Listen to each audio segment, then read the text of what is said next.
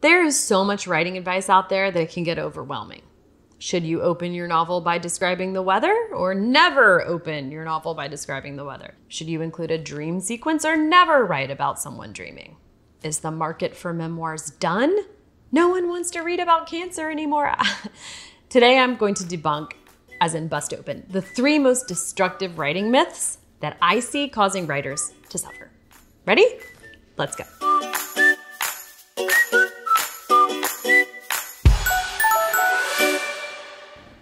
I tried writing for years, but felt like I was never quite good enough.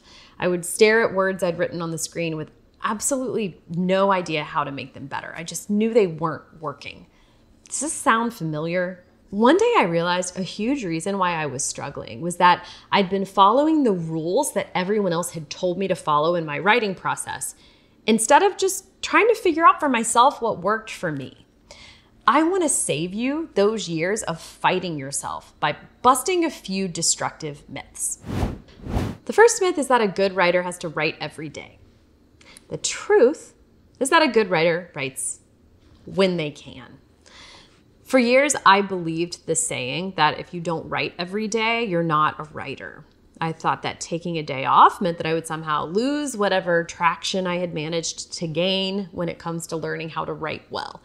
I, I distinctly remember the panicked feeling I would get when, for whatever reason, I just didn't have time to write on a given day. These thoughts are along the same lines as the kind of diet thinking that leads you to self loathing and can drive you to work against yourself. You know, like you cave and you eat a chocolate chip cookie, and that means, oh, I failed, so I might as well give up. Gradually, I noticed that the disaster I feared never came. I could skip a day or two here and there, could even skip a week or two. And when I came back to writing, I could still write. I could pick up where I left off. The characters had not abandoned me, and neither had my skills. There's no magic number of days per week you must write to be a writer.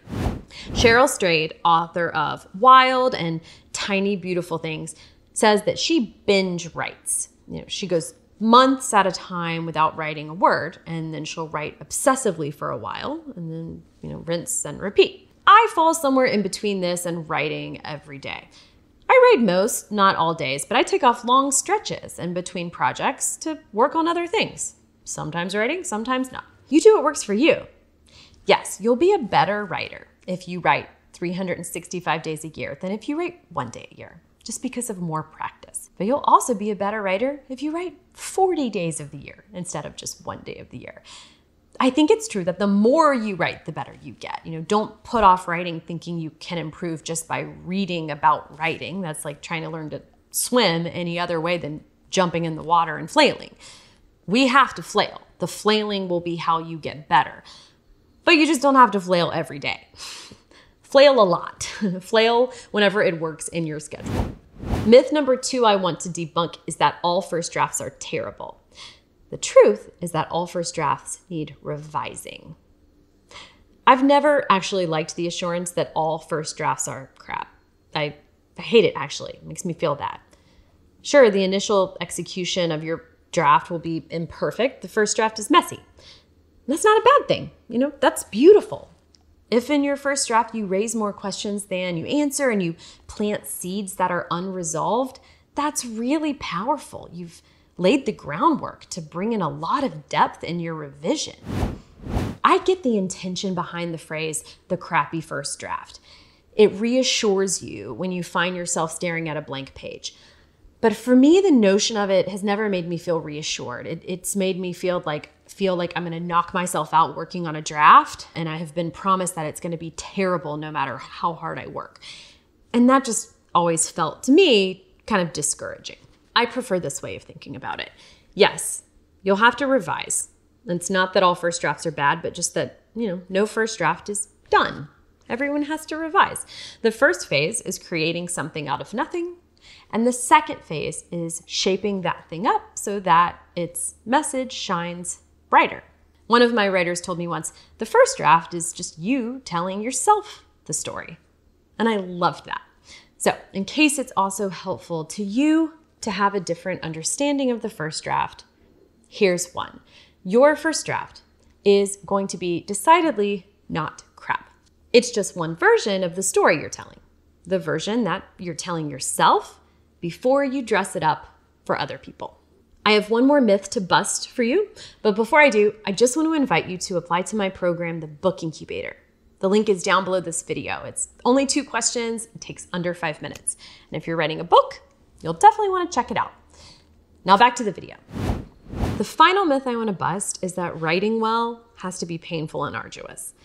The truth is that writing well can and should be fun and joyful most of the time. I think we've probably all encountered this idea that writing has to be painful and difficult. It's, it's a very ubiquitous idea. You can probably picture the, the bitter, wild haired hermit chain smoking in his messy flat with stacks of paper everywhere, his typewriter's dusty, there are empty bottles of scotch piled in the trash can, and his editor has left all these voicemails asking about the novel he was supposed to turn in 19 years ago, like The Tormented Genius, right? In her book, Big Magic, which is great, author Elizabeth Gilbert does an excellent job of dismantling the idea that writing has to be difficult or painful. She talks a lot about how it should actually be fun. You're partnering with creativity. You are collaborating with the creative energy of the universe. If you think about it that way, how can it really be anything but but fun? A privilege. Of course, this doesn't mean we don't all have hard days. There will always be days when you don't feel like writing and when you doubt yourself, or when you just feel like nothing is clicking for you creatively. But it can still be enjoyable, deeply enjoyable, most of the time. I love writing. I love the time I get to spend writing. If I have set aside a morning to write, I wake up that day, and when I'm lying in bed and I remember that I get to write, I feel truly happy. My, my body is like, yay, today's one of the days we get to do the thing that we love. So if you don't already feel this way, you can. It's possible for you to. Often, you can break into joy or rediscover the joy of writing when you stop forcing yourself to do things that don't work for you or that don't work for your process if you can only write for 15 minutes every day, or if you skip a week and then you write for hours over the weekend, or if you write your draft in a notebook with a set of fuzzy feather pens, you know, all of that is great as long as it works for you. Or maybe you just need to let go of that book you think you're supposed to write and write the one that you want to write. Or maybe you just need to let go of the idea that a better book has to be harder to write. Better books do not necessarily take longer to write, and they're not necessarily harder to write. Some of my best work has been when I've written it the most easily and quickly. Go figure. The best place to write is whatever is best for you. And I truly believe that the more fun you let yourself have while writing, the more your enthusiasm shines through on the page, leading to better work. If you've made it this far in the video, I'm guessing that you are writing a book or you want to write a book. And if so, I would love to hear from you. When I'm not writing, my mission is to help talented writers write their dream books. I love it. I live for it. If you're curious to know more, I have a free video walking you through my exact process for writing a book. And you can get it by just clicking below and answering two questions to apply to my program, the Book Incubator. You can get this video whether you join the program or not. There's no pressure to enroll. Just click below, tell me a little bit about you and your book or your book idea. I'm so excited to hear from you.